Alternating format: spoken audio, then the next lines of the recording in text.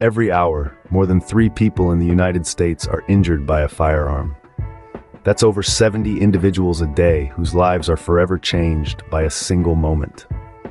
This startling statistic is a stark reminder of the importance of gun safety. The first step in ensuring gun safety is understanding what it entails. It's not merely about handling a firearm correctly.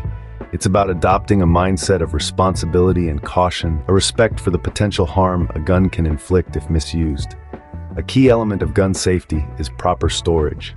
Store guns unloaded in a locked container, separate from ammunition. This is a crucial step in reducing the risk of accidents, particularly in homes with children. A child's curiosity can lead to tragic outcomes when a loaded gun is within reach. Training is another essential aspect. Before handling a firearm, one should complete a safety training course. These courses provide vital knowledge on how to handle, clean, and store